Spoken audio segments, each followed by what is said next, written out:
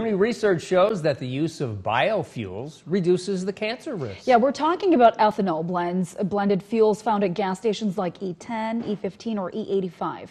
The new study between the Hormel Institute, the University of Minnesota, the Energy Resources Center, and University of Illinois Chicago shows that gas containing ethanol results in less toxic emissions from vehicles. So the more gasoline combustion exhausted in vehicles from regular gas, the higher the risk biofuels dilute the chemicals, toxic chemicals.